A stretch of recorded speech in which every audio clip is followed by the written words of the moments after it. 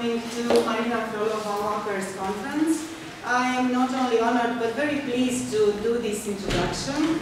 I have met Marina in several uh, symposia and uh, I knew about her and her writings and uh, I know also that she's a very good communicator so she doesn't only uh, write wonderful, she doesn't only pick wonderful titles, but you will see. And um, uh, I will tell you only briefly about her career. She studied uh, thoroughly in Moscow and uh, then I think in 94 uh, she moved to Great Britain uh, for personal reasons. She's a specialist in Russian music and she moved to, well, she began with Glinka, a book about Glinka, and then she moved towards the 20th century, um, ideology and music. Uh, she edited and wrote it several books. And her last book, I think it's the ground for today's presentation. Uh, it's about uh, Stalin's prize, uh, music prize. Uh, and there will be some surprises, I think.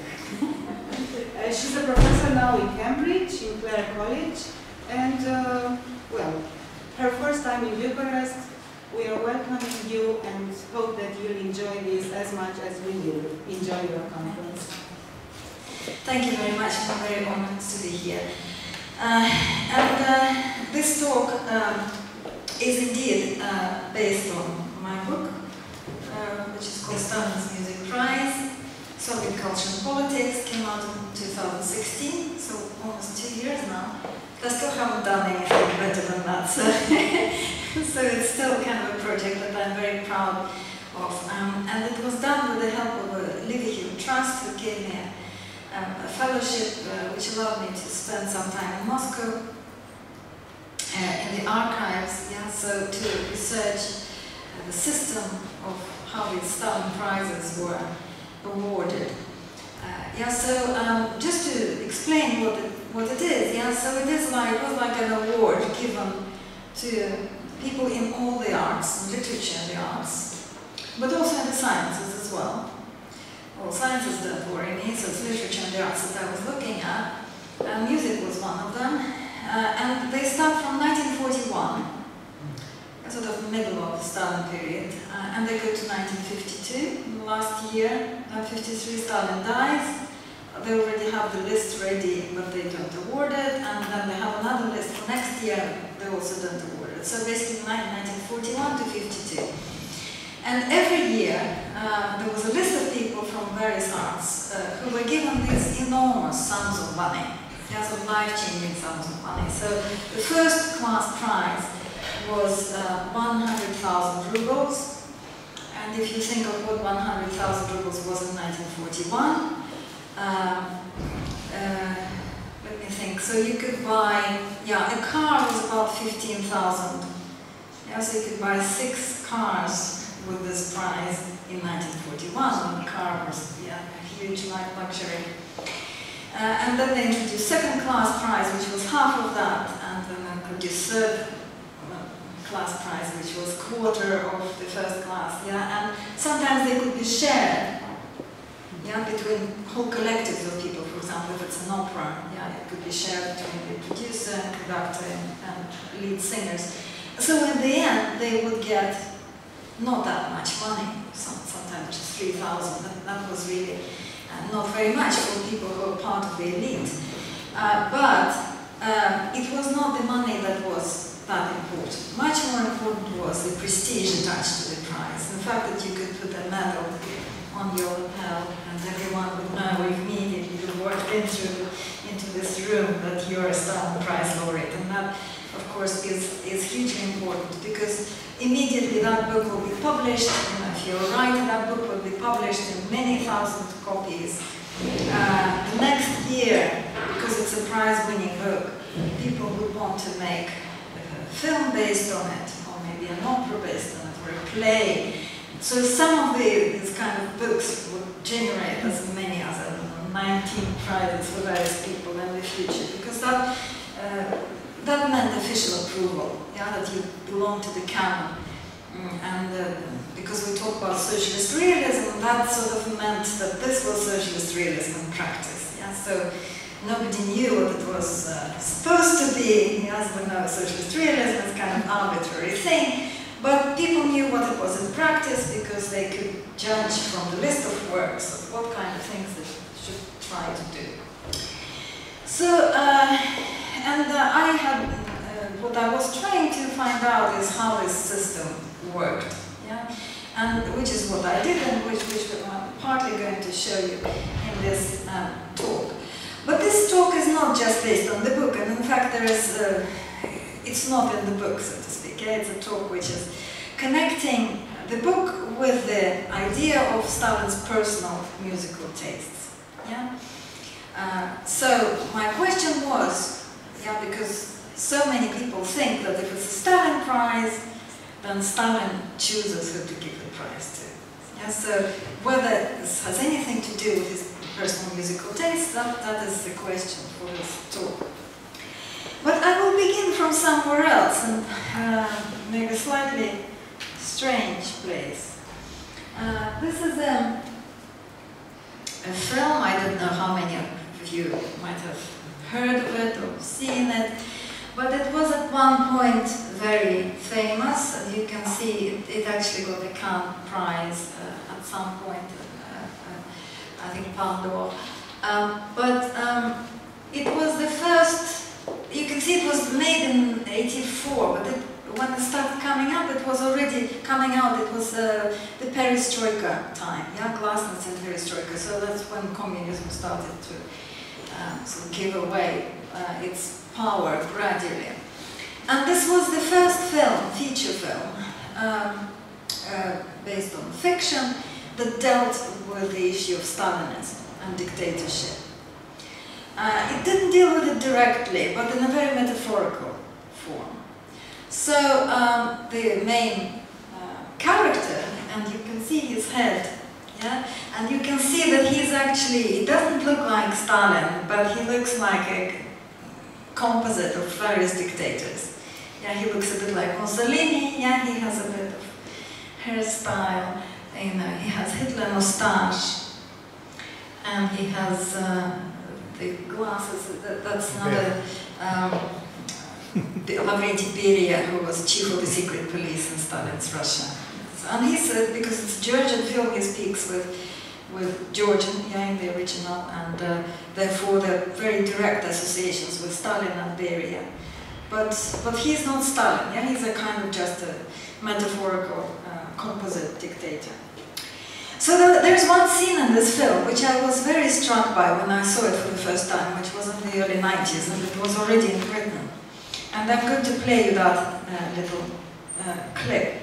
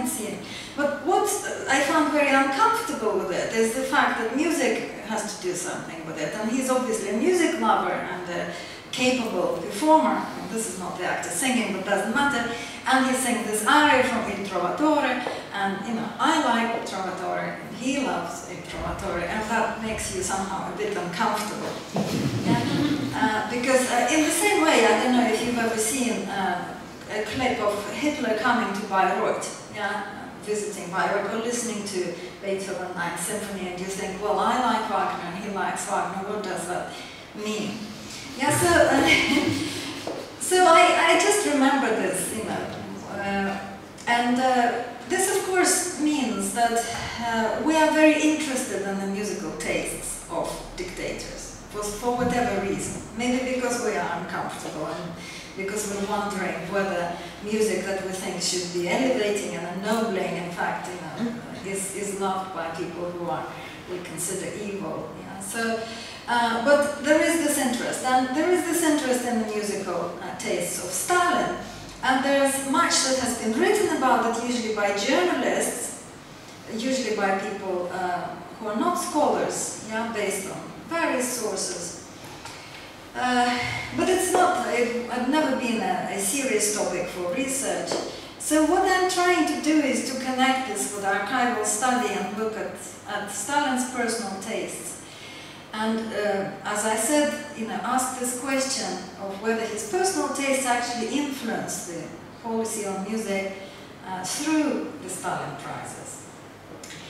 So um, the, the issue with Stalin prizes being kind of Stalin's personal prizes, uh, yeah, this is very much a common uh, idea. You can find that quite a lot.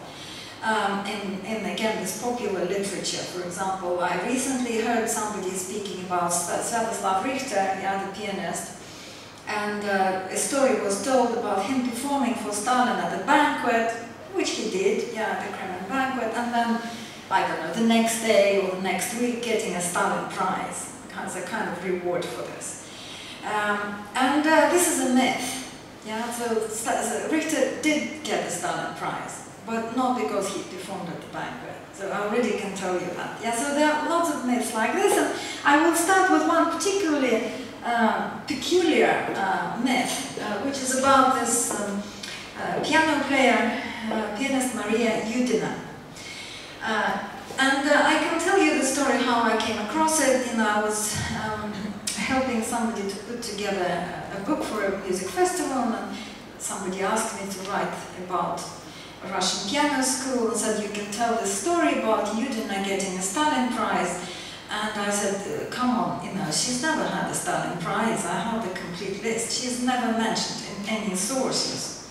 I said, oh, it's in Wikipedia, you know, it says that she had, was awarded the Stalin Prize. So I got very interested in that. I was trying to um, just trace, you know, how this story came about.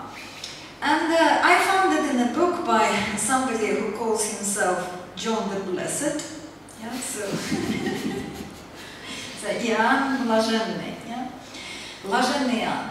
Um, uh, so that's a good start already. So he wrote this, uh, this book which is called The Piano Gospel of Maria Yudina and he tells the story.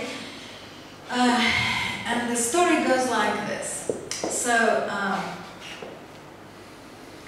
that one day uh, Stalin was listening to the radio and he heard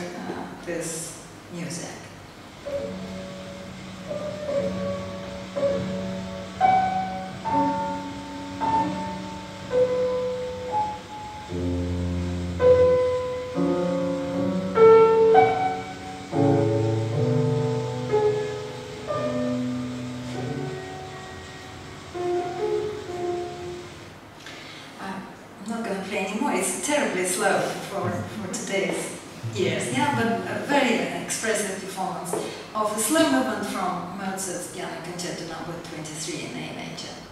so, and it's a beautiful tune. Yeah, so And he loved the performance uh, so much that he immediately phoned or you know, told somebody to get him a record of this, yeah, so that he could play it home. Uh, and um, people at the radio were terrified because there was no recording. It was a live broadcast. It didn't exist. But you can't say no to stuff. You can't say, no, we don't have it. so instead they summoned Yudina and the orchestra in the middle of the night uh, to record this thing so that next day they're ready to print and send him that record. And apparently that's what they did. And uh, then the story goes that the next day, whatever, she got the Stalin Prize, 20,000 rubles. And uh, then the, another interesting part of the story comes that she decided not to keep it, but to give it to the church. Russian Orthodox Church, great thing to do in a communist country. Yes, so, um, and not only she did that, but apparently she also wrote a letter to Stalin telling him that he is a criminal, and uh, she's going to be praying for his soul. Uh, yeah, so and nothing happened to her. Yeah, so anyway, so that's the story in that book, and I thought, oh, this this has a familiar ring to it. Some part of it I've heard before, uh, and indeed it comes from a very uh, familiar source in which you might be aware of. It's called Testimony. Yeah, it's a book which purports to be a memoir of Shostakovich, yeah, which was published by Solomon Volkov in 1979, and it's full of these anecdotes. Yeah, so the book has been proven, proven to be a, a, a, kind of compilation. If you don't want to call it a fake, but it's it's a compilation of sources. Shostakovich probably never saw it as a whole, and there are various things that might have been added by Volkov or various stories that various friends of Shostakovich told him. So, so the stories kind of existed, the rumors existed, the book is not authentic. And uh, the story is there complete, it's about the, the recording, and it's about the, the money given, being given to the church. Only one fact is missing. And the Stalin Prize is never mentioned in the testimony. So somehow Stalin Prize is invented by this uh, John, John the Blessed. Now, uh, then my own story continues from there because I actually met by accident, was approached by two disciples of John the Blessed uh, who wanted to convert me into their faith, which is like some kind of like um, sect, like a Christian sect, like Cathars, the Cathars, you know, with center in Spain, where John the Blessed lives. And uh, so I invited them to lunch at my college and used this opportunity to ask them, where do you think, because I, I tried to email him and ask him where he got this information about the Stalin Prize. No, he didn't reply, and I asked them, so where do you think he takes his facts from? I said, oh, you know, he has visions. well, I thought that, that was a wonderful thing, you know, if you compile your bibliography, you know, you know, I had a vision. So. Anyway, so this is a myth. Yeah, he did not never got the Stalin Prize, but because he, he wrote it in this book, it went to Wikipedia. From Wikipedia, it went to hundreds of different places because everyone who does something, a radio show, they go to Wikipedia and they don't question it, and so it just starts traveling around like that. So that's one of the reasons, yeah, of one which I wanted to find out what really happened with Stalin prizes. So. Uh, now let's go to the issue of Stalin's musical tastes and look at them sort of in a scholarly way from various sources. So, so one of the sources is memoirs, of course, and that uh, gives us quite a lot of information. So Molotov, for example, wrote down, well, spoke, you know, gave interviews to someone. And this is what he remembers. Here was a large dining room that was at the dacha, yeah, so uh, in the countryside where we gathered for dinner, if you could call it that at 10 or 11 at night, but not very often. Here is the big table, a record player, many records. He liked classical music. He often went to the Bolshoi Theatre, arriving in the middle of the performance. He liked the Glinka, Rimsky-Korsakov, Mussorgsky, mostly Russian composers. He also liked the Pyatnitsky choir. And so I'm asking you to remember this name because it will come up again. He died in his big room. Near the wall there was a piano. Zhdanov used to play. Zhdanov was his main cultural ideologue. He was something of a pianist, though an amateur, so that was Zhdanov. Now I'll just mention that another thing about that Mozart recording, that there is also a story which may or may not be true, I have no confirmation, that this was the last record that was found on, on Stalin's turntable when he died. Yes, last music that he. Um, Stalin got drunk very rarely, but when it happened, he was merry and would always turn on the record player. He would put on various records. He had many. First of all, he liked Russian folk songs very much. Then he used to put on some comic stuff, Georgian songs, very good records. True, we sometimes sang church songs after dinner. Uh, a bit provocative, yeah. Sometimes uh, even white guard songs, yeah. So songs of the enemy, yeah, of the Reds. Stalin had a pleasing voice. Oh, so now we find out that he was a singer, yeah. Um, this is another source. Maria Svanidze was, I think, a sister of his first wife.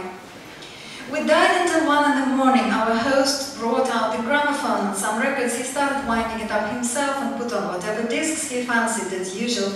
We danced while he got the men to choose the ladies and whirl them round.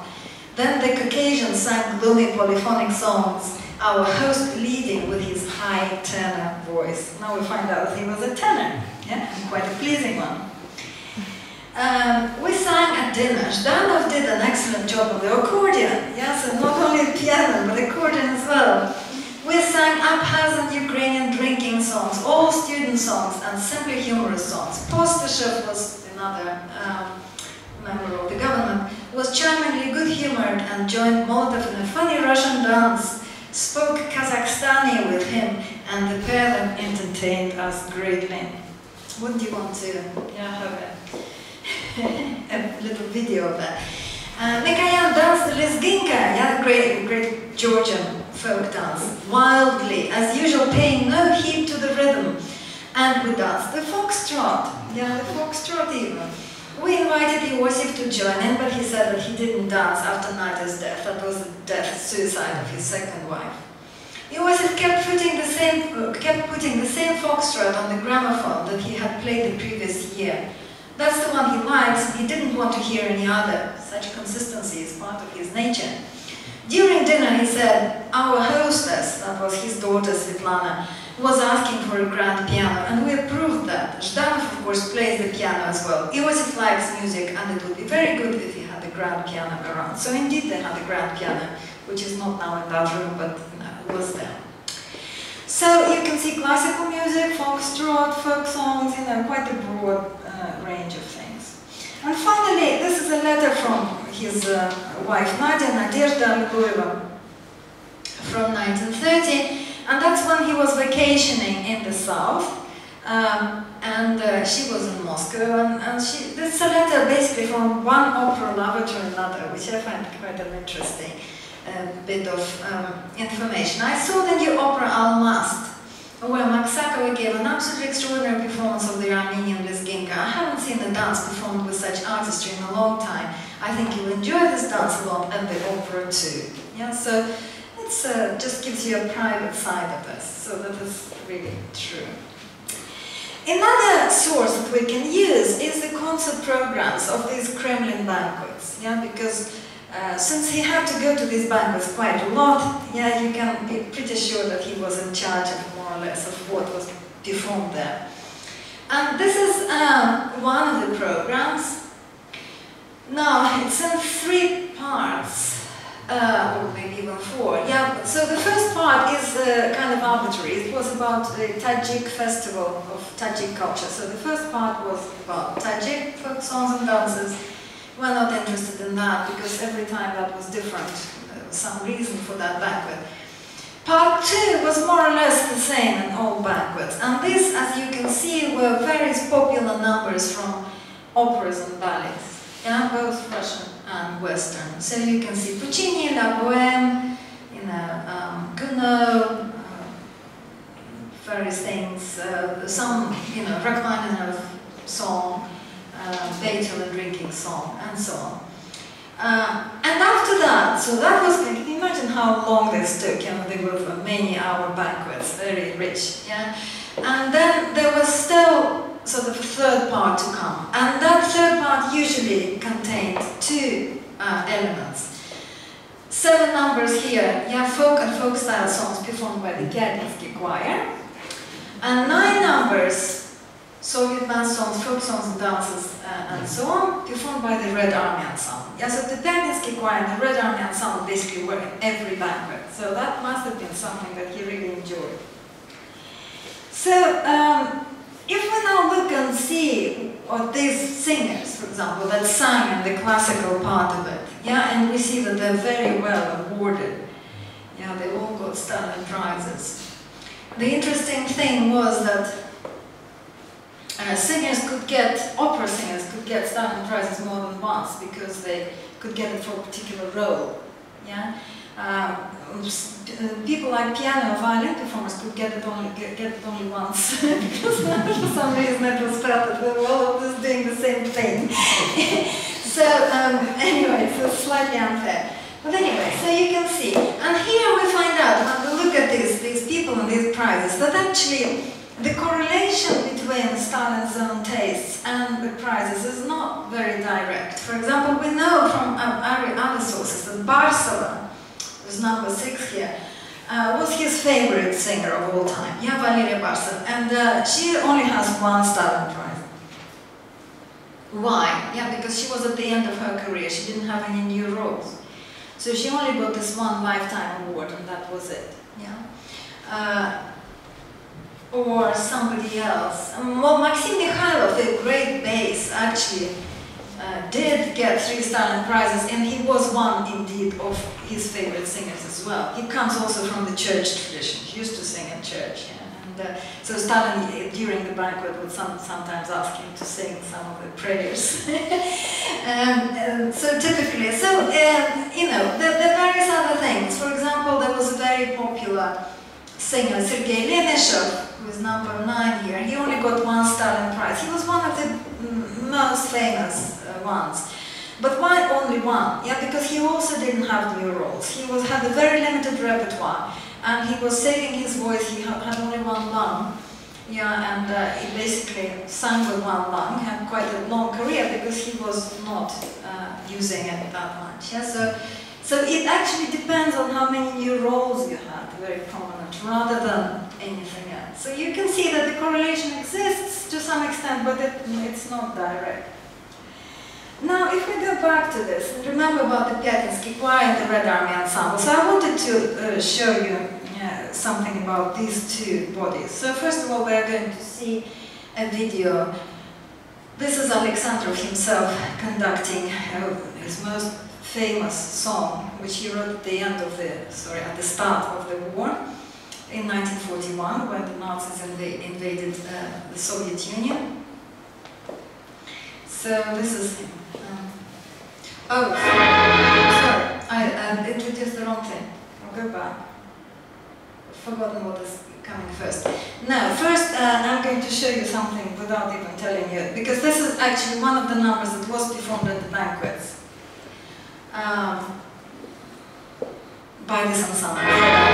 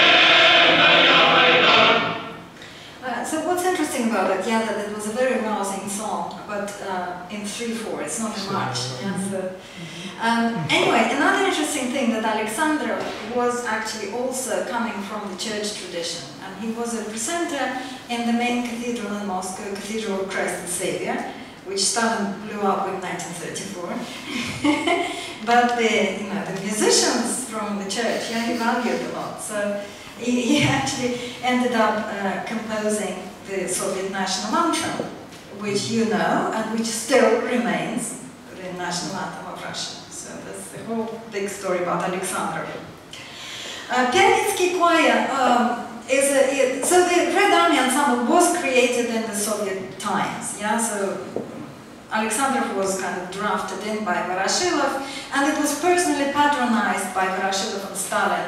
And Alexander even said something that Stalin made a comment that they, it would be nice to include balalaikas into the orchestras and not just have the accordion. So yeah, he made some musical decisions for them. We don't know whether that's true. The Pyatnitsky choir has a different uh, uh, story. It's a pre-revolutionary ensemble. You can see them on the left, and they were actual peasants, yeah, who were brought together. Uh, and uh, they sang the, the, songs from their own villages uh, that they learned as children. Uh, in Soviet times, it was transformed into much huger, bigger collective, and uh, you can see the accordion players, balalaikas again, and there were dancers. And uh, the changes were that they were not, they had to learn notation, they couldn't improvise anymore. Yeah, so it was a different kind of folk music. It was now uh, professionalized. And uh, the uh, head of it was called Zakharov. Yeah, so Zakharov was a composer who wrote uh, this song. Just give you a, a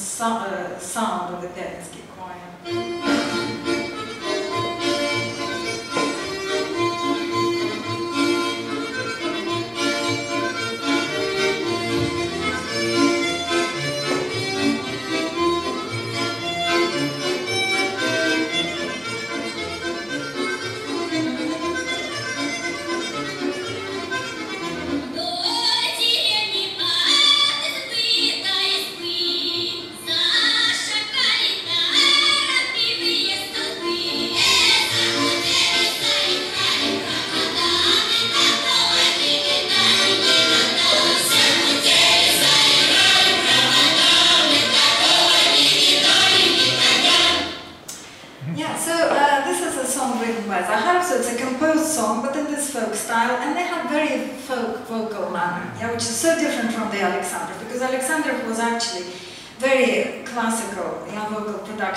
uh, lot of church singers from the start, actually. There, uh, but um, and it was academic vocal production. And actually, in 1937, the Alexandrov Ensemble went to Paris to the uh, uh, World Exposition. Yeah, and they won a Grand Prix for their performance, and there is actually a recording of the Marseillaise that they sing in this very classical way, beautiful, uh, which was very impressive. So, yeah, so this is a very different style, although in the end, you know, these different vocal styles, they kind of started converging, because the Alexandrov was asked to, to make their manner a little bit more democratic and kind of open it up when they the, the Pyatnitsky was asked to make it slightly more rounded and not quite so shrill. Yeah, so they were kind of converging. And uh, so but they both have accordions and balalaikas in the orchestra. So there's a particular sound, I think, that he was attracted to. So uh, now let's look at Stalin prizes that were given in a particular category. There were various categories, and this is a, a list for mass and popular songs. So what you notice is that the class of the prize almost um, exclusively second and third.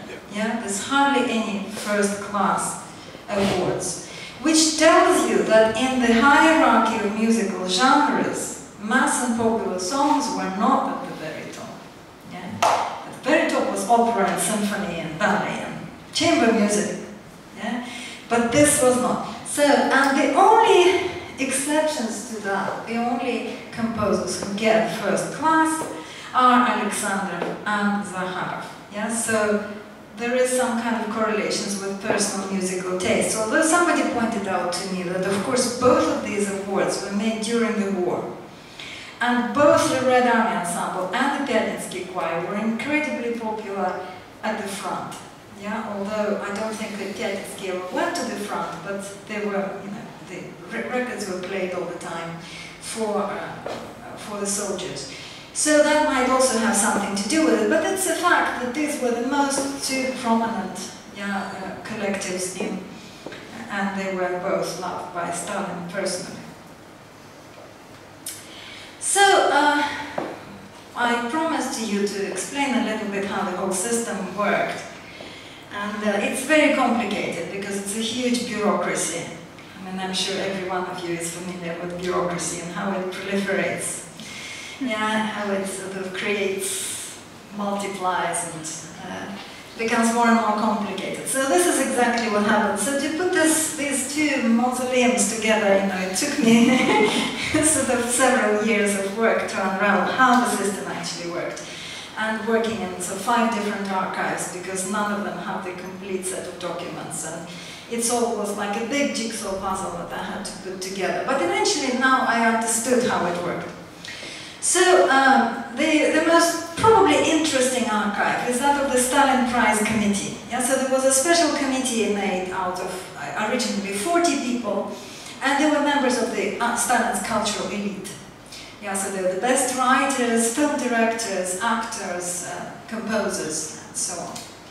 And they all came together to discuss nominations. Yeah, so they did it first in sections, art by art, and then they came together with a plenary section, session and uh, discussed it together. Then they took secret vote, secret ballot, and they created the list of uh, proposed nominees.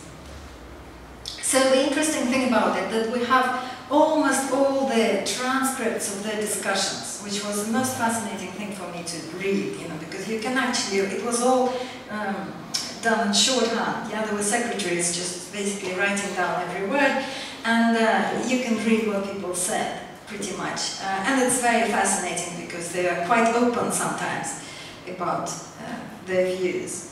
So that was very interesting. So the Stalin Prize Committee would take this vote and they would send it up to the government for approval. So it was kind of consultative committee, yeah, not, not executive, no, didn't take decisions. But they pretty much thought, you know, our opinion is final. That's how they thought that this started first. Little did they know that at the same time this list was sent to also the cultural ministries. Yeah, there were several of them. They had different names. One was called Committee for Arts Affairs. There was also a Committee for Cinematography, Committee for Architecture. So I will call them ministries just to make sure that you know that it's a state, yeah, cultural organized institution. And uh, the ministry, ministers were looking at this list and they didn't like various things and they were trying to change it. So they, had, they created their own list based on the Stalin Prize Committee list but also sent it to the government. At the same time, the Agitprop, which was the party body responsible for culture, yeah, so they were members of the Central Committee of the Communist Party, they had their own ideas as well. Yeah? So they created their own list based on the Stalin Prize Committee list and also sent it to the government. It was different from the, the ministries. Yeah, so you had three separate lists now. So to make sense of all that, you had to create a special commission of the Politburo, which had to look through all of that and then prepare the materials for the actual Politburo meeting, at which Stalin was present and there were various guests from the cultural elite uh, to support various nominations. And finally, the decision was taken. Well, it's amazing, isn't it? The importance of culture. Yeah, the, during the war, yeah, at the at the Politburo meeting. And why I have Stalin separate? Because even after they voted, or no, no, they didn't vote, but even after they approved all the prize winners at the Politburo, the next day they brought it to Stalin to sign, and he could still change things. Okay, so that's I have another uh, layer there. And then later on, you can see the balance of power shifted a little bit, and Agitprop, this party organization, becomes when Zhdanov, the, sorry, it was actually after Zhdanov's death, but Agit, Agitprop becomes the main body. Because as with all of the, the institutions like that, the Stalin Prize started growing exponentially. Yeah, so at first they had, I don't know, 15 nominations, and then they have hundreds of nominations. Yeah, so it's impossible for the committee to deal with it properly, so they stopped reading books, you know, some of them weren't even in Russian, they were in various national languages, they weren't even translated, they couldn't even read them, so it's just awarded prizes to whoever, whomever, yeah. mm. And, uh, but Agitprop was much more thorough, so the Agitprop really actually in, in, in involved people who listened to stuff and went to all the theatre productions, did it properly. So you can see that it becomes a separate layer. So this is how it worked. And uh, yes, so um, just to go back to, to show you. So I told you that I have transcripts from the Stalin Prize Committee. P uh, correspondence between ministries and Agitprop, which sometimes have these lists. But Politburo Commission uh, and Politburo meetings were not transcribed. Yeah, so there are very few things that actually, very, very little details that sometimes can be found. So mostly we know about what happened at these meetings, which of course are the most interesting, but they are not transcribed, uh, from memoirs. So, uh, and the only thing on music comes from this, uh, the only detailed thing comes from Tikhon Khrennikov's memoir. Tikhon Khrennikov, you probably know, was uh, uh, head of the Union of Composers for a very, very long time, from 1948 to 1991. So a very powerful person. Uh, so he describes the atmosphere in this Politburo room and everyone is petrified of Stalin and afraid to speak. Um, apart from you know, chairman of the Union of Writers, Fadeev, who usually, he was an alcoholic, so he, he was usually drunk, so he was not, not frightened to argue with Stalin because he didn't care. But anyway, so uh, he says, I too stood up to defend the virtues of balalaika player, Pavel Nechiporenko, who was even called the oyster of the balalaika. But the chairman of the Committee for Arts Affairs, so the Minister Bespalov, knowing that Stalin dismissed all non-classical art as mere fairground amusements, balagan, now that's interesting, yeah? Well, why would he? We just heard some kind of folk stuff, yeah? So why would he say that? Said that the balalaika is not a real musical instrument at all and the balalaika player shouldn't be granted any award since that would debase the prize. So it's all about high art, yeah?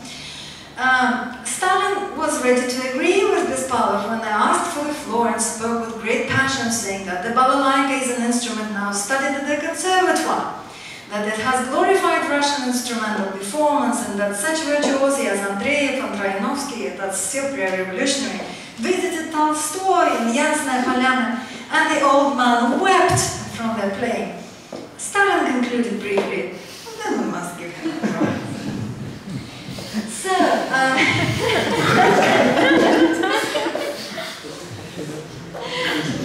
I'm giving an impression of Stalin in English as well, yeah, it's quite good. So anyway, um, now the most wonderful thing for an archival scholar is when you find a document which confirms the memoir. Yeah, memoirs are usually wrong. Yeah, people don't remember anything, or they want to say whatever they want to say. But in this case, I found a document that actually confirmed this memoir. So this is, uh, I mean, I will explain. It's impossible to get anything here. But uh, basically, this is uh, what Stalin had in his hand. And these uh, little ticks and uh, notes are in his hand. Yeah? So, and it's clear that these notes were made at the meeting because uh, what you have on the left is uh, the Stalin Prize Committee suggestions. On the right you have the Agitprop uh, proposals, which says either agree or disagree. Yeah, so they've already so vetting them. So um, you can see that Nechiporenko was supposed to get third class prize, uh, kind of insulting anyway, um, after the um, committee for Stalin prizes uh, discussion. But Agitprop says no, yeah, do not award. And Stalin's first ticks it, you know, ticks means he agrees with the Agitprop decision. And then it's uh, next to the tick he writes third. Yeah, so in the, yeah, so he changes his decision probably because Khrennikov spoke yeah, and convinced him. So that is kind of very uh, nice thing to have. Um, and on the same page, uh, no, yeah, on the same page, you have a decision on Pyatnitsky choir, and basically what Agitprop didn't like, the list was very long. Yeah, they didn't like this long list, award like half of the people. Uh, and so he wanted to remove five people from it. But Stalin was always very generous in that because it's the same amount of money. It's just more people get the medals. Yeah. So the more happier people, members of the intelligence, I think, are generous. Yeah, uh, the, the, Soviet government is. So leave them full. That was always his principle. You know, if you can award more people, award more. So that is another reason. So um, now looking at these marginalia, which was really the most fascinating part of my research, you find uh, that some of them are done before the meeting. You can sort of guess that because they are doodles. and then some of them are very uh, systematic, and in that case, they're probably made during the meeting. Uh, but also, interestingly, if you look at something on literature or on film, you have lots of very detailed com because Stalin read the nominated books. He was terrifying people because he read the books that they hadn't read and he had a pile of them on his desk. He was interested in literature. And, and you can see there are, you know, on literature he says, no, no, where is this, where is it, where is this guy? His suggestions. Yeah, in music there is nothing actually like that. Yeah, so music is, is different from literature and different from film, and it clearly was not the art where he had very much to say. Um, and that's disappointing, because sometimes you get to the music session and there are no marginalia. Disappointing for me, but yeah, the absence is also tells you something. I'll give you another one. You will enjoy this because this is um, it's also in literature, and it has this this marginalia, uh, marginalia which says ha ha um, next to the nomination of Vilis Latsis as Latvian Prime Minister. Now, why, why is he saying this? This is a third-class prize. Because originally the Committee for Stalin Prize didn't, didn't want to give Latsis any, anything. And, uh, but because this was one of the new republics, the Baltic republics, and he really wanted to bribe them to give them as much as possible to win the loyalty of the intelligentsia, so it was very important politically. So he, that was one occasion when he actually sent the whole lot of papers back to the Stalin Prize Committee. So think again. So this is already the result of the thinking again, where he decided they decided to give him the third class prize, and he writes ha ha because in the end he's going to get first class prize. How can you not give a Latvian prime minister first class prize? It would be insulting to give them a third class prize. Can you, you realize that? So this is a funny thing that you can deduce from, from these papers, and nothing like that, unfortunately, for music. So. But since I, I got my so hands on these papers, I, I had some fun uh, with other things, and I'm going to play a little game with you, because and during one of the days I got this, um, I got this um, magazine on Soviet painting with Stalin's marginalia, where he put these comments on various paintings. So since you all, you know, in Romania, you should know something about socialist realism and what is good and what is not. So tell me, what do you think he, uh, did, did you think he liked it or not? Lenin declares the Soviet power. Yeah? Sounds plausible. Yeah? Good subject. Uh, no, he didn't like it. Do you know why he didn't like it? Look behind, behind Lenin's back, there's little Stalin there. Mm-hmm. Yeah. No good. Yeah. Well, here's another one. Here's Stalin himself giving a speech that's in the Moscow metro, so that's during the war, yes, so underground. It's a very important moment, 1941. So, what do you think? No. Yeah, you, you like you think? No, he didn't. He didn't like that. Well, we don't know what, maybe he didn't like his face. There's another one. Uh, it's even worse. Yeah, he actually says poor. Yeah, плохо. Yeah, плохо. Now, this is a portrait of Stanislavski, yes, the great uh, director, theater director. So what do you think? Yeah, kind of impressionist, lovely. Uh, very good. um, this is a portrait of Zelinsky, who was a famous chemist as well. sorry, the picture's not so good here, but um, good. Now then he, uh, this is funny. Uh, you know, this is a very socialist realist, typical thing. Yeah, the kind of harvest festival. Yeah, by an Armenian uh, painter called. You know, just, uh, is Uh, and then he gets sort of, sort of involved in this. Uh, but he starts also. Uh, this is a, a, painting from 1829. Yeah, he also leaves a comment on it. By classical painter in. So he leaves a comment on it. Not right. So that is she also number one. so he wasn't happy with Vignazan. But it's why this is interesting and right at this point in 1948, he suddenly starts, starts taking interest in painting. And he had never done that before.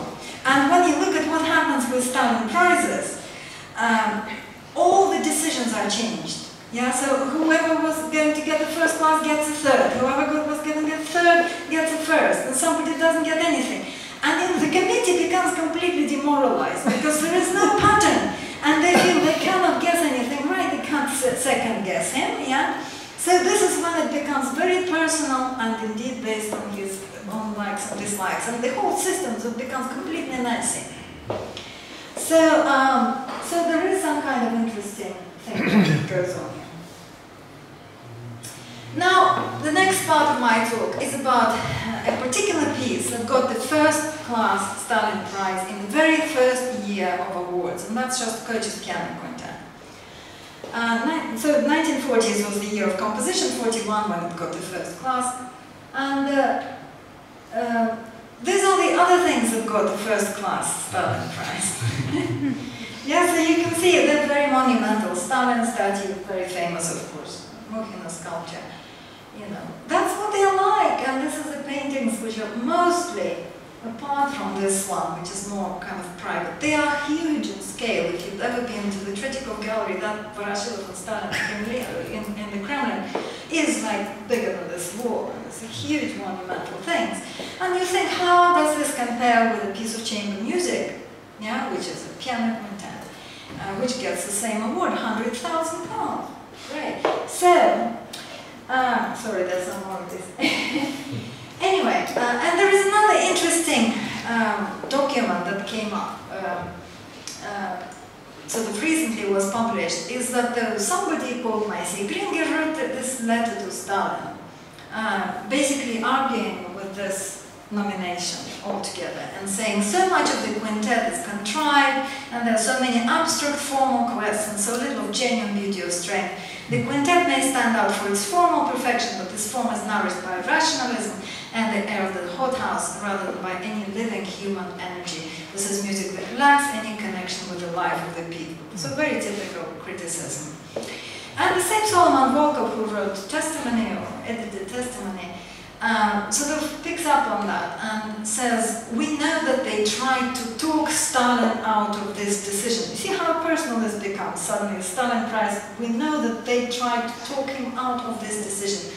Why can't we imagine that Stalin listened to Shostakovich's music and liked it? And I would bother by that again, because that's a piece I love. You know, it's a wonderful piece of music, and I would particularly resent the fact that he likes Shostakovich's piano quintet. And I'm interested in that. So uh, I wanted to see whether through documents I can uh, prove one way or the other. I mean, maybe not conclusively, but at least have an idea of why this quintet was awarded. And uh, Stalin, of course, knew Shostakovich mainly as a film composer. And how do we know that? Yeah, there is a very funny story about this song, The Cool of the Morning Greets Us. Uh, and, uh, uh, well, I'll play it to you.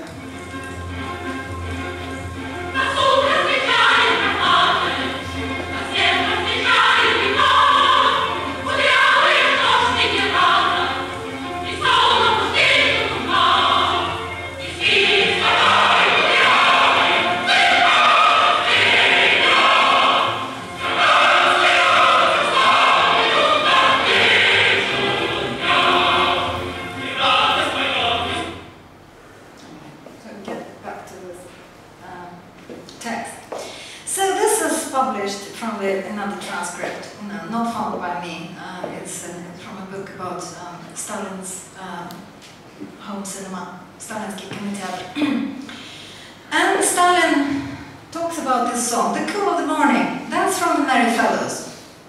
He's wrong about that, it's from the film Counterplan. So he makes a mistake. All the songs from that film are good, they're straightforward and melodic. There were accusations that they were derived from Mexican songs. I don't know how many bars they might have in common with any Mexican folk song, but first, the song is a straightforward affair. And second, there is even something was drawn from Mexican folk music, there is nothing so bad about that. So actually, there was a plagiarism case, it was a court case. And the composer of that Mexican song, Mexican derived song, was Dunayevsky. Yeah, so another big film composer. And Voroshilov says no, it was another song that was accused of Mexican. The song of the Hamza Bell. The Cool of the Morning is from the counterplan, isn't it, by Shostakovich? And then there's silence, there is know, conversation, it's finished. And like, I can Sympathize with that because I get these mistakes all the time. You know, with age, you you forget things, yeah, and you really don't like to be pointed out. Yeah, it, it pointed out to you that you made a mistake. So, yeah, why this is so interesting? It's because of the date of this. The date of this is 29th of January 1936, which is one day after Shostakovich was denounced in Pravda for his opera Lady Macbeth, which Stalin supposedly have uh, visited, yeah, disliked, and as a result of his personal dislike, this was denounced. This is next day. Yeah, so Shostakovich is being denounced, and Voroshilov said, isn't it by Shostakovich, the song you've just said you, you like? And well, either Stalin doesn't want to admit his mistake. You kind of imagine in another version of history, he could say, oh, it's by Shostakovich. Well, that's such good music. Why are we treating him so harshly. Yeah, the whole campaign would just stop. Anyway, didn't happen. Yeah, so um, anyway, that tells you that he knew these songs. Maybe he not always uh, knew who the composer was, but he was familiar with this kind of thing. And, um, sorry, I don't want to hear it again. Another uh, document I wanted to show you is about another film, and that's also with film score by Shostakovich, which is called The Fall of Berlin, and it's about Stalin Arriving in Berlin in 1945 after the war, wearing a white jacket, he comes in a big plane, he comes out and the whole world comes to greet him. Yeah? And all nationalities just run to him. And he gives this big speech without any microphone because of course, like God, he doesn't need any. So, um, yeah, and, uh, and the Shostakovich music, glory to Stalin, glory to Stalin, in very Russian style.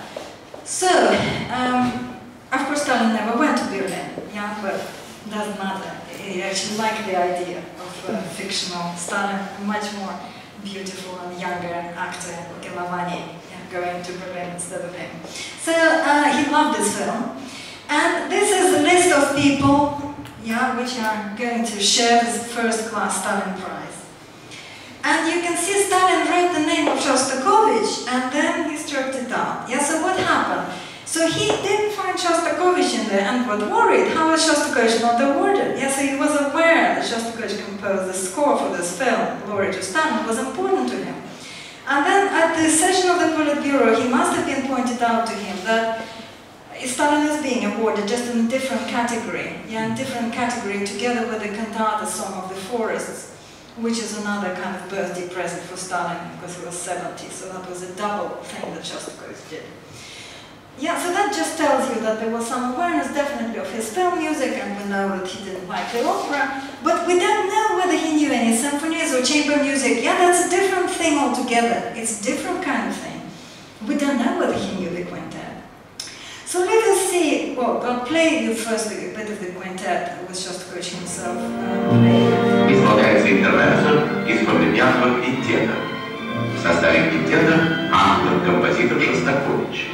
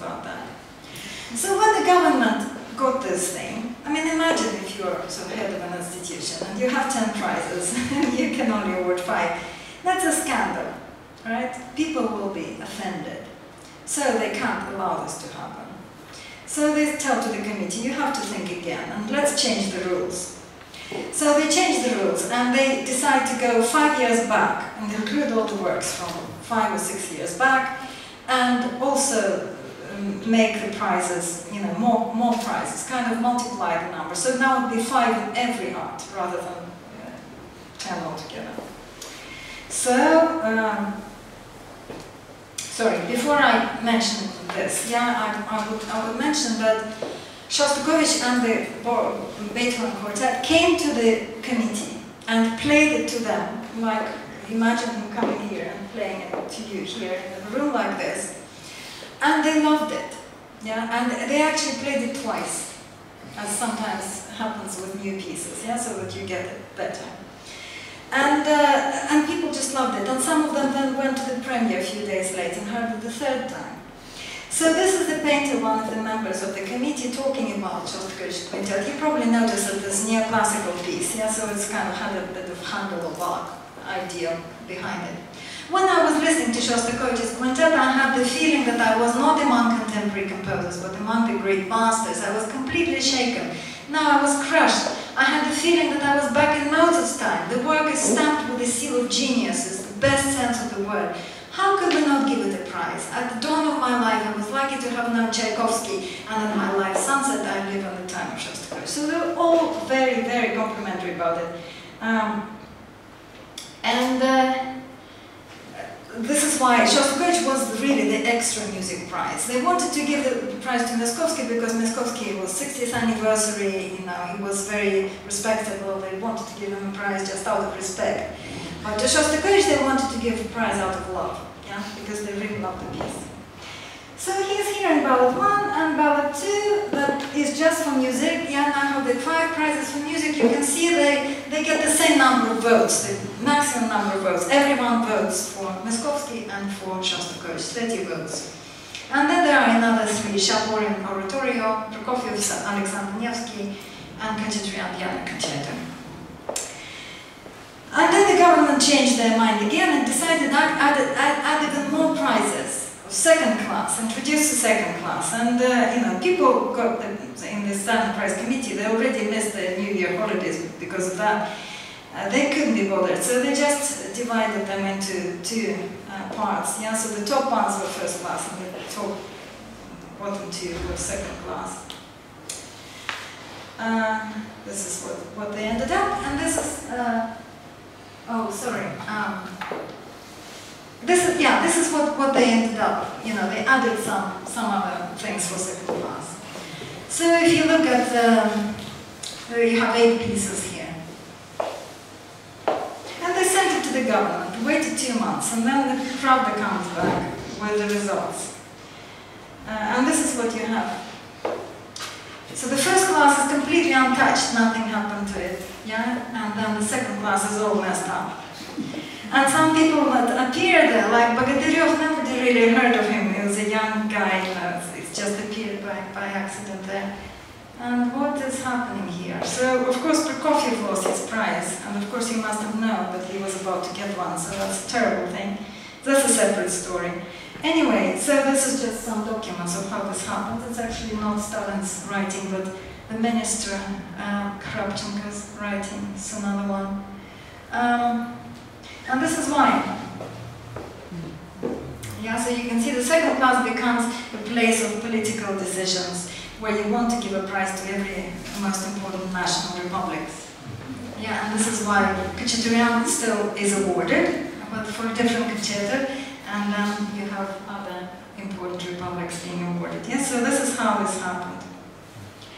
So, um, finally, just for the very final story, I, I will tell you a little vignette about uh, one moment where the Stalin Prize was withdrawn. Yeah, so somebody was given it and then it was taken back. Only one story in music like that.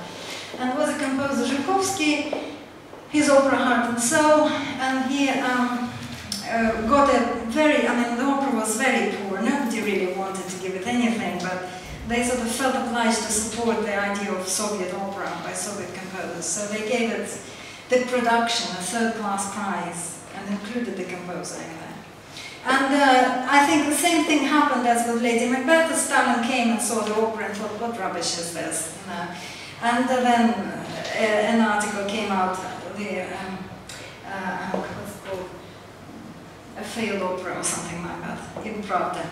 And Zhukovsky writes, I found this document um, on this little scrap of paper, and you sort of think, why did somebody tell him to do that? You know, did he not have proper paper? Um, but he writes this, uh, this letter asking him to take the prize away. A very shrewd thing to do.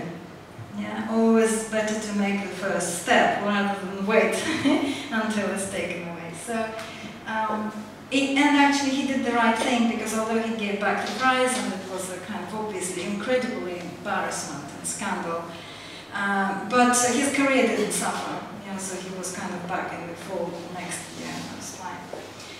Uh, but there was another case, in, not in music, but in kind of historical literature, when um, somebody got a prize and then the prize was taken away because they found a kind of historical mistake in it. Yeah, it was a misinterpretation of history of um, a particular national republic. And it was seen as a political mistake. And the prize was taken away and the author of this book basically committed suicide, yeah, hanged himself. So we just to give you a final thought of how much it meant. Yeah, and this of course is, is, was another example where a personal decision meant everything. So just for final conclusion, I would say that if we come back to this question, was it a personal thing, yeah, or was it something uh, else? I would say maybe about 5% of decisions on musical works, yeah, the prizes given to composers, had to do with Stalin's personal taste, and maybe about 20% to do with performers, yeah, because he was very much into opera singers, and a lot of opera singers got prizes. But the rest of them had nothing to do uh, with that. And uh, actually, you know, uh, indirect confirmation comes from this letter that I missed out, uh, from Grinberg, who says, in order to confirm the correctness of my evaluation of the above works, I can ask of you but one thing. Listen to these pieces and you will be able to figure them out perfectly. For you are familiar with works of all the other arts, with literature, painting, architecture and dramatic theatre, which by implication means that he is not familiar with music. So Grinberg actually was somebody who was part of the top bureaucracy. And so he would have known something. Yeah, so actually there is a suggestion in the set that a Stalin person who did not listen to the nomination. So my answer to the Volkov is no, he didn't have to listen to the quintet to approve of it. The quintet was never in danger of getting any less than the first class prize. The bureaucracy took care uh, of this. It was a collective decision. It was actually based on aesthetics and not politics. And uh, it was never challenged throughout that process. So Stalin didn't need to be involved. Yeah. So, so this is my conclusion, that yes, there is, of course, personal input from Stalin in a percentage of cases. But in the end, what worked and uh, you know, how the system worked, it worked through the involvement of Almost everyone, yeah, because every composer musician was a member of the bureaucracy. One way or the other, they were members of the Union of Composers, members of artistic unions of another kind. They were involved in taking these decisions. Yeah, so this is kind of explains the, that the system worked not just from the top down, but also equally yeah, from the bottom up, and the power was spread uh, between many, many sort of different individuals and institutions. And that's all I have to tell you today. Thank you.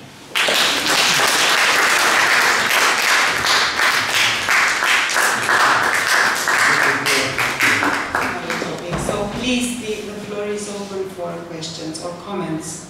Thank you for all this very interesting stuff. I'm a little bit amazed right? because there is a lot of literature saying that Khrennikov was against Prokofiev, against Shostakovich. So how someone so important as Khrennikov didn't intervene and uh, make not possible the price of Shostakovich? Yeah. So yes, one thing I didn't mention is that Prokofiev got six, Shostakovich got five. Yeah, so Prokofiev was the absolute champion, although that was a result of a clerical error, a mistake. He wasn't supposed to have six, he was supposed to have five, but uh, two nominations was counted as separate things. In one year, he got two Stalin prizes. One for a score to the Ivan the Terrible, and another one for something else. Which means, yeah, that in music you actually have the real quality composers getting the most prizes. Yeah, so Khachaturian got, got four, I think, and, and then Kabalevsky got three. And so it's kind of, in literature situation, it's very different because the main, uh, the writers that we admire now, like Akhmatov and Pasternak, never had a chance of even being nominated. So it's a very, very different situation. Now, the question about Khrennikov. Khrennikov only is appointed in 1948. Yeah, so by 1948, Shostakovich and Prokofiev already won quite a lot of prizes. And he does interfere at various points. Uh, and um, the, I have a whole different paper about it. And actually in the book, know, there's quite a lot of things that he says against, for example, uh, uh, Prokofiev's Seventh Symphony. It was already after Stalin's death, but they were still hoping to give one round. And the Prokofiev's Seventh Symphony was, you know, touted for first class prize and second class prize and third class prize. And Khrennikov was trying to push it down. Uh, and Prokofiev died, and you know, Stalin died. Died the same day as Stalin. Yeah, and, and eventually the symphony actually, they remembered about it because they felt it was such an injustice and they gave the, the first Lenin Prize in 1957 went to Prokofiev's Seventh Symphony posthumously. So he certainly did interfere and in 1948 he was certainly against Prokofiev and Shostakovich and um, after they were denounced they, they were given another round of Stalin Prizes as a kind of forgiveness. Yeah? Um, so they repented and wrote some cantatas, as I mentioned, yeah, film of uh, film of Berlin and Song of the Forest. And Prokofiev also wrote a cantata which called On Guard for Peace, which was modeled on Song of the Forest, basically to get the Stalin Prize. And that was a sign that they were forgiven. Yes. Sorry, what was that story about uh, the man who committed a historical mistake and then uh, committed suicide? Can you tell us? Yeah, so his name was uh. Yeah, so he's the, the historical book that he wrote was about Azerbaijan. And uh, basically the mistake was about the role of Shamil, yeah, who was a, a kind of leader of a particular nationalist group uh, in the 19th century. And you know how in Soviet politics there was always change of heart yeah, about various historical figures. Yeah, so the narrative was always changing. You had to know exactly what the thinking was, the current thinking was. So he wrote something positive about Shamil, and at that point, you know, the attitude to Shamil uh, changed, and it was deemed serious enough to take his Stalin Prize away. And uh, you know, he was obviously either was just a very proud man I was very frightened. So that was the story.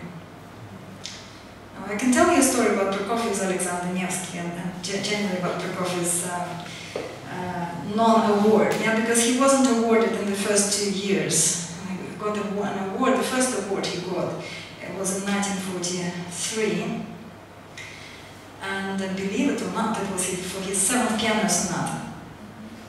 Now, if you know the seventh piano sonata, that's quite a modernist piece. Yeah, so you would think, why wouldn't they give it to Alexander Nevsky? Well, he didn't understand himself. Now, it was second class, but nevertheless, it was the first one, and after that, he started getting for every year. So something's changed.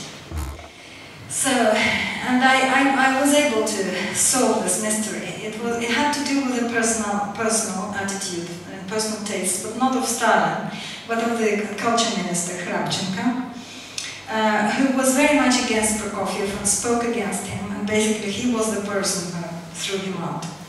Uh, and uh, because he thought Prokofiev was an emigre, he just recently come back, he didn't feel it was Soviet enough, yeah, just didn't fancy. Although everyone, you know, the whole committee wanted to award Prokofiev, thought it was an absolute scandal that he didn't get one. But, uh, you know, the second year he was again tried with his, I think, quartet uh, on Kabardin and Balkar themes, so national themes, but because it was wartime, they thought that's not the kind of thing to award, so he didn't get it again. And then suddenly he gets it for the seven pianos now.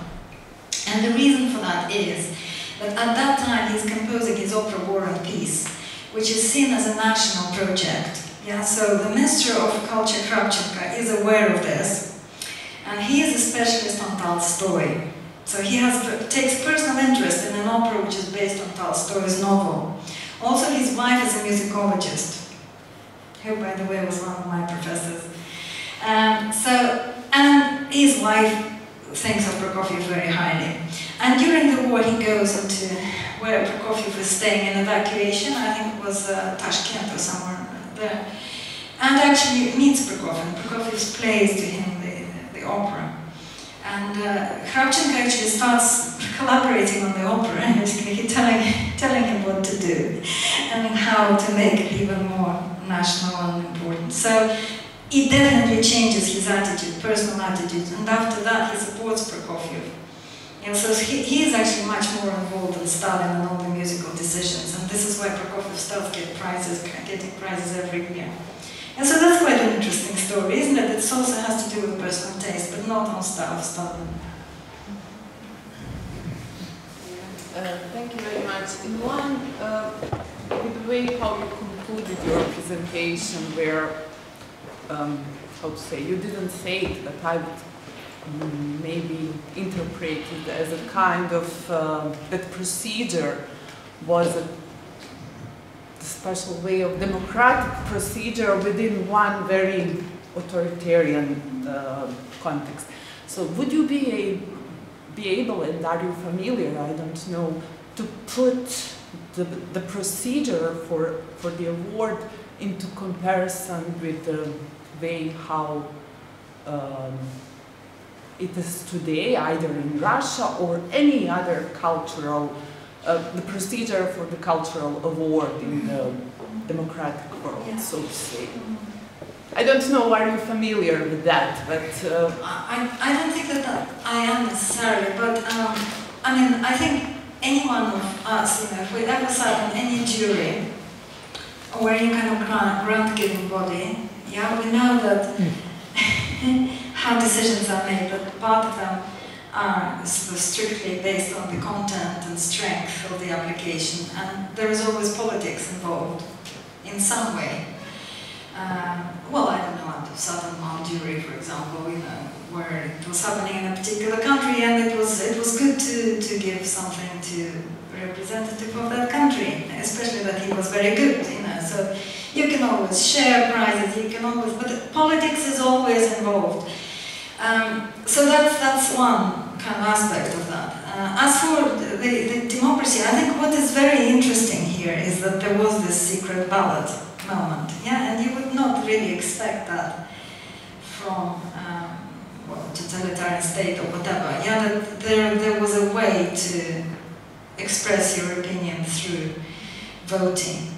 Uh, and sometimes, for example, when Shostakovich got on the committee, he was also a member of the committee from 1947, and then he was thrown out of the Potomac again.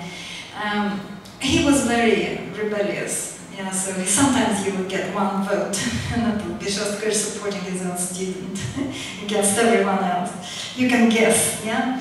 So, um, but of course, it was a very limited yeah, democracy because then it was vetted by another several layers. Uh, but it gave, I think, you know, it gave um, the members of the elite, uh, cultural elite, some kind of agency. Yeah, so it gave them some sense of power, and they enjoyed it. I mean, because they were willing members, yeah, of, of the elite. They worked for. They, they were very proud of what they were doing. They thought it was very important to create this canon of works for the people. And sometimes they weren't necessarily the works that they themselves liked. They would, um, for example, admire a picture of lilacs, you know, beautiful flowers by Konchalovsky, and said, well, I will give you know, the prize to Konchalovsky, but it's now wartime, that's not what the people need. Uh, and actually, Khrapchenko, the Minister of Culture, said at one point, yes, I would give the prize to Prokofiev for Romeo and Juliet, but what will the people think? You know, so they had a separate idea of what is needed for. And as for as, as it is how it is done now, I'm, I'm afraid I cannot tell you. I mean, I don't think Putin really um, sort of takes quite the same interest. But uh, certainly um, a lot of competitions, let's say Tchaikovsky competition, the top competition in Russia, is the president of it is now Gergiev, and of course Gergiev is a great friend of Putin. Yeah, so um, basically we don't care what Putin thinks, but everyone cares what Gergiev thinks. And um, well, I'll give you one, one very recent example.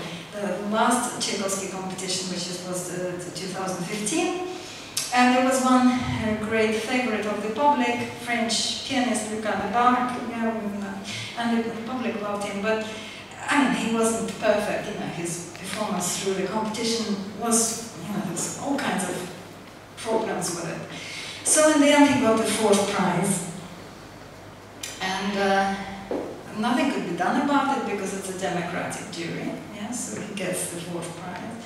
And what happens next? Uh, then Gergiev just, you know, selects him to have a number of concerts with him all around the world. Yeah, so who won the prize? It is actually terrible, it was a terrible thing for the first prize winner, Masleev, who in the end it's like a undermining, you know, his career rather than, because it seems like he won it somehow unfairly. So this is a very, very interesting thing that is still going on. So you can exercise power in this way. Yeah, even if you can't change the democratic result, there was nobody vetting the jury's votes. You know, every jury member gave their votes, they were all counted. There's no discussion. The result is automatic. And then somebody who is as powerful as Stalin was in culture, who is now Maestro Gergiev, just flips it all the other way. So, you know, the guy who won the first prize has a fantastic career, and the guy who won the first prize basically, you know, is, is in the shadow. So, I don't know whether that answers your question, but things like that still go on. Yeah.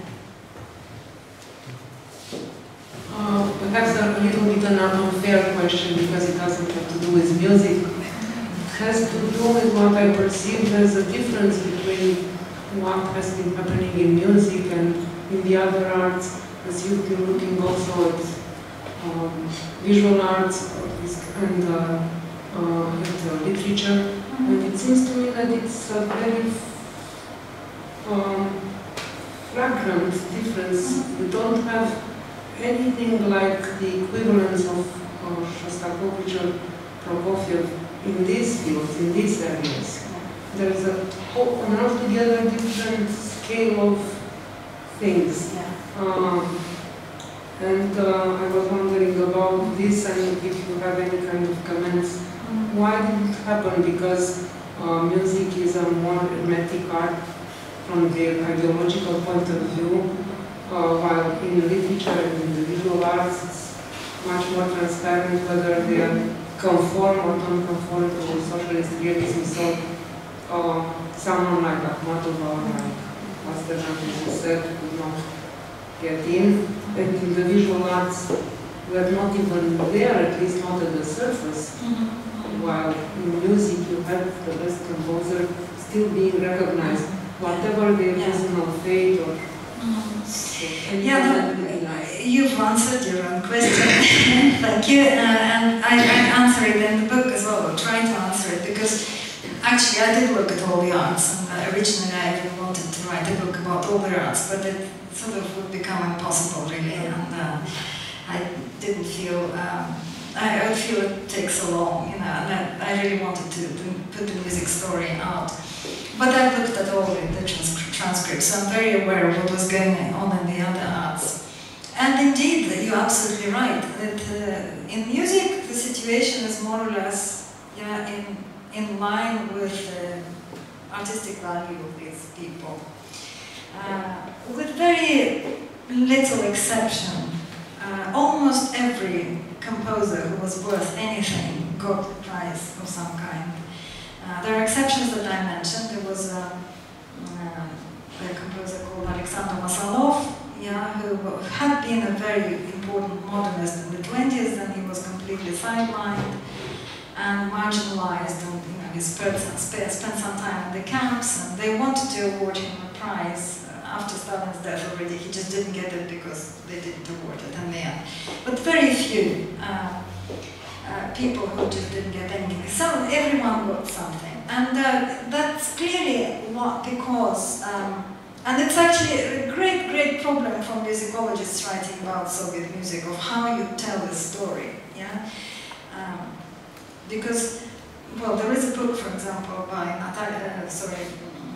Ekaterina Vlasova about Soviet music, which based on archival sources, which tells you how things were bad, bad, bad, bad, bad, oppression, oppression, oppression, you know, arbitrary decisions, uh, terrible things. And then at the end she says, yeah, but it produced such amazing masterpieces, yeah, such as Shostakovich, Fifth Symphony, you know, Prokofiev's opera war piece and so on.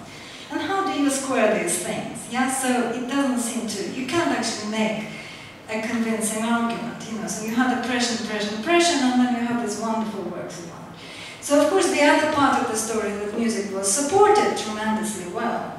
Yeah. Well, first of all, had the prizes like that, and then Shostakovich, for example, was the highest paid composer in the Soviet Union, and he, he felt at some point so powerful that he would write to Khrapchenko, the minister, and said, "I need uh, 150,000 rubles per year to live on." Yeah, that's more than a Stalin Prize, and that's plus the Stalin Prizes. And, uh, and they also gave him a flat and the dacha for free, and he had, you know, two cars, two drivers, cooks, nannies, whatever, everything, you know, antique furniture, paintings.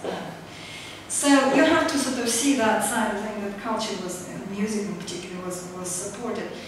And of course it was because uh, it was not deemed as uh, ideologically important. Uh, and the, there were things that were deemed very important, such as opera.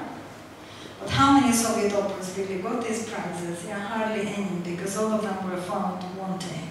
Because uh, they looked at the libretto, not at the music. They couldn't actually judge the music. There was no bureaucratic body who could say, you know, we're not going to let this go because of the music. They looked at the libretto, and the libretto was always not good enough, basically. So, because it was very hard to tick all the boxes uh, and also produce something viable. So things with text, yeah, like operas, actually Soviet operas, there are not so many of them, precisely because they're ideological and they have such trouble. But paradoxically, yeah, things like the piano quintet, which doesn't have any words, symphonies, which don't have any words, yeah, pieces of absolute music get prizes. And this is the great paradox, and rather wonderful paradox. I, I haven't, I've written another piece about that and why, how these, why pieces of abstract music become the main genre of Soviet music. And uh, the answer is because they were deemed programmatic, but the program was a kind of phantom. Yeah, it wasn't written down. It was sometimes a little bit of what Shostakovich said himself about his Fifth Symphony, something that the critics said. Yeah, created this very flexible idea of what the music is about. Yeah, it could be about heroic struggle during the war? Nobody ever wrote it down and said, you didn't have to say it's a symphony called 1941. Even the Seventh Symphony by Shostakovich, yeah, which is known as Leningrad Symphony, doesn't have a title. It has a dedication to the city of Leningrad. That's all it says. Yeah, so the less concrete you are in the actual program, in actual words, the more chance the piece has, in a sense, uh, not to be criticized. Because there were also, musicologists were incredibly important at the time, because they were producing these phantom programs. And they were ensuring that uh, the symphonies had content. Yeah, because otherwise, where is this content? Well, it's because people like, um, I don't know, Georgy Khubov or whoever you know, yeah, were writing these things down, and they were writing it so convincingly, you know, people believe. And sometimes there were discussions about it, like Shostakovich's Ninth Symphony. Yeah, I mean, I'm sure you know the story. It's a symphony which was written in 1945, and everyone expected a big piece for the choir, and he produces this little neoclassical thing. And the musicologists who want this piece to be accepted by create the phantom program. It's all life affirming but the wonderful sense of relief that people experience after victory. Yeah, so they write this wonderful thing. And uh, for a while, it sort of works. And then Keldysh comes and says, this is rubbish, this is all Western neoclassicism, it's formalism, know, and it's actually, you know, the, the second theme sounds like an American march, you know, and, uh, and you can't give us a you know, Stalin Prize or whatever. In the end, it was actually nominated but didn't get. Uh, so you can see how it's very important to create this phantom program. And it's flexible enough, obscure enough, you know, to, uh, well, my, my title for that, you talk about title, my, my title for that uh, piece of writing is Music is Obscure. And that's actually a quote from one of the um, members of the Stalin Prize Committee. And that's precisely what they're discussing, yeah? Uh, when somebody is objecting to, you know, why are you giving this music to, to this sorry, prize to this piece of music. And uh, the actor, Ivan Moskvin, says, well, music is obscure. we don't know like what, about. So it's precisely because it's obscure that it actually was able uh, to judge on its aesthetic merits. I was wondering how many musicologists were awarded this prize? Oh, that's a great question. Um, actually, as far as I remember, only one.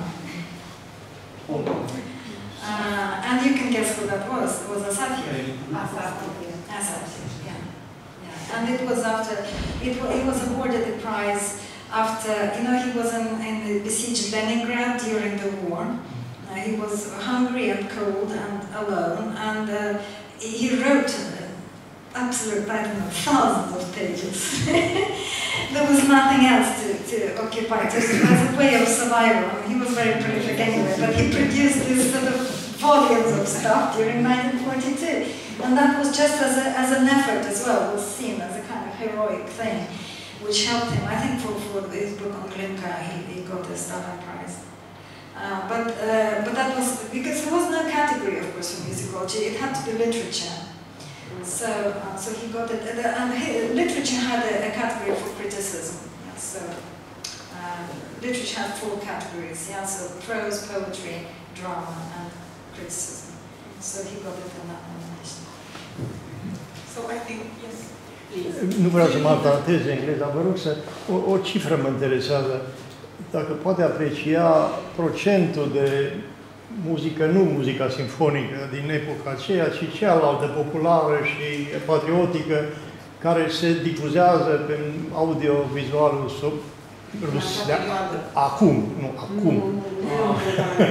Dacă se reiau și azi, ce procent din ce se difuzează pe mass media, că noi nu aprindem Moscova și restul postilor din Rusia, dacă poate aprecia un, o cifră, circa, 5, 1, 2,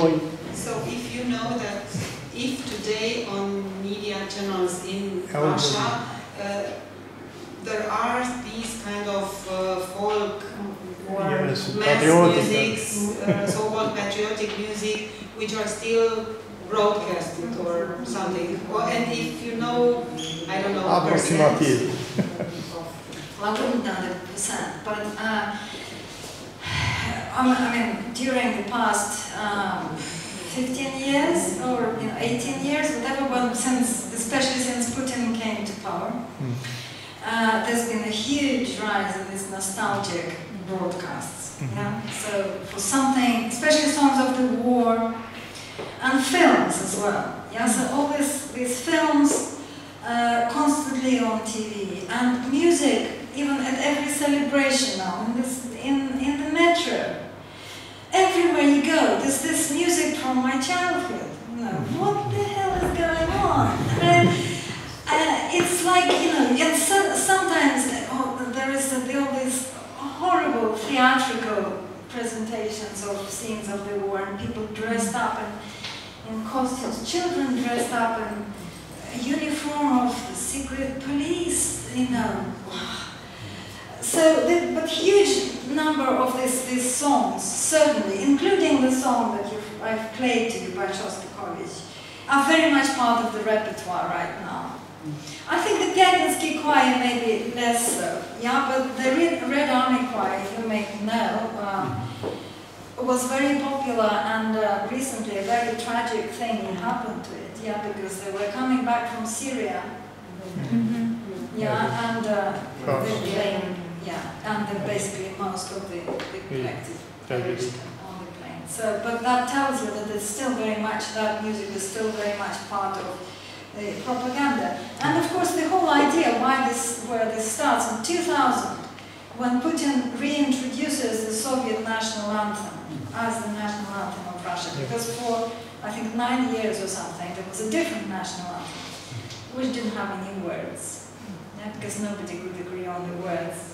It was a very difficult period. There was no consensus at all for the and then suddenly, imagine the same music comes in, and the guy who wrote the poetry for it, Mikhalkov, was still alive. So he took his own words and changed them a little bit. Yeah, so instead of Communist Party, it was God now mentioned. Amazing story. Yeah, so and I think that was already the third version of poetry that he created. Yeah, so first there was a Stalin version, then the de-Stalinized version, and then this kind of religious version for Putin. Hmm. And when that was done, when that was done in 2000, I remember I was just completely horrified and I could not understand how this was possible.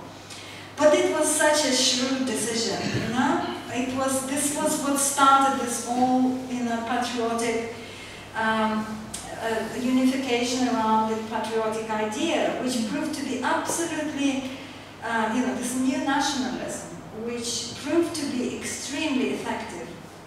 Yeah, so now you have 85% or, you know, 75% voting for Putin because they think their country is great and the national anthem is, is great.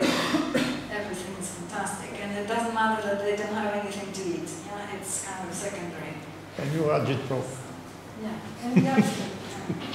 Well, I suggest to continue over a glass of wine and uh, pretzels, as we usually do here. And I have to say that, uh, fortunately or unfortunately, music is obscure. Musicology is sometimes obscure, sometimes not. and I really thank uh, very much Marina for being so clarifying today. And uh, thank you all for coming and for asking questions. Thank you.